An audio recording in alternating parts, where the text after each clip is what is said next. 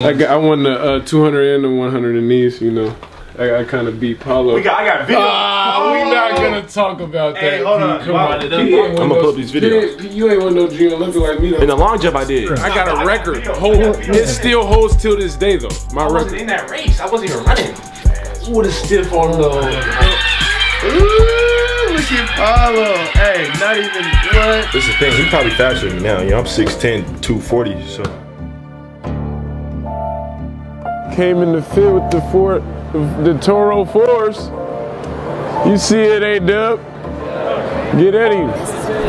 Get at him. There's been so many fights here. You know how many fights I've witnessed right, right there at that one spot. I've witnessed like five fights there. I promise.